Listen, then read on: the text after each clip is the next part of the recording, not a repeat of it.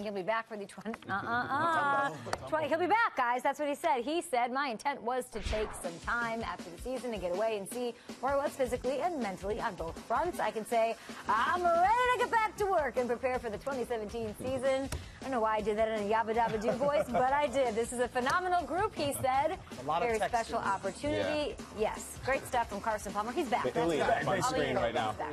It's so fast. Non-retirement retirement speech. What was that? Yeah. Uh, now, Statement. this team disappointing last year. Yeah. But what, like two seasons ago, they were in the NFC Championship. Against the Panthers. Can what can we expect from them? And we talked about the division. There's some tough defenses there, and some Mm-hmm. teams on the rise, some younger ones. What can we expect from Carson Palmer and company? Larry Fitzgerald also due back. Well, listen, two years ago, they weren't just one of the better teams. They were the best team. Uh, They caught fire at one point, and I said, listen, they better watch out for the NFC West Arizona Cardinals.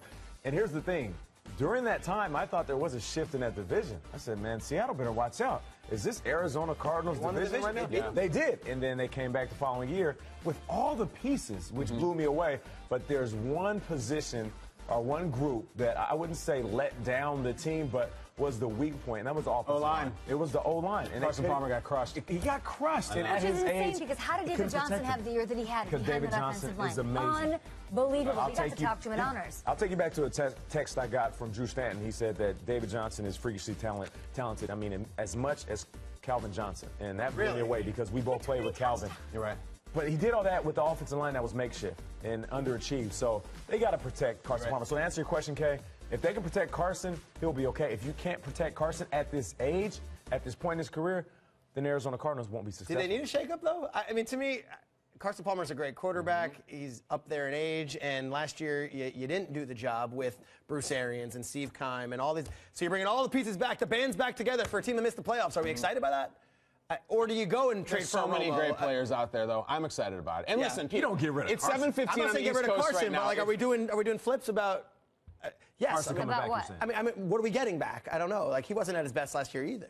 But he was getting blasted. I know. 40 sacks in 15 I know. games. He Guys, was this sacked is what- 25 times all season. Came out the with year me in before. 03. I'm not saying he's And not I'm a great quarterback. JJ Nelson's exciting. I'm excited about I think if it's 7-16 on the East Coast, and you're like, what do I care about the Arizona Cardinals? You care because of fantasy. This is huge, Kay. Yeah. This team is loaded with fantasy assets. And this whole deal that Carson Palmer came back because Larry was coming back. I think he came back because he saw David Johnson. I'm thinking of John Elway coming back to play another year with Terrell Davis. That's the guy you come back for. $16 million. what about? Well, 16. That's kinda nice, He comes back for Benjamin Franklin. And it's too. not just fantasy, it's that offense and it's that defense. It's Patrick Peterson, Tyrann Mathieu, uh, Deone Bucannon, Mm-hmm. Calais Campbell. These guys get hot. They can be one of the best teams. I know we're writing them off because Something they needs had to such a change, terrible though. year. Something needs to change. Same same thing in, in Carolina. Address Something the offensive change, yeah. line These free were two of the best They were good? teams in the NFC. What, what, what do you got? I just, I just, it's like. You What know, would you like to see? I don't know. I just think uh, when you, when a team f- comes short, there needs to be some. And I don't think Carson Palmer is the guy that's gonna go. But like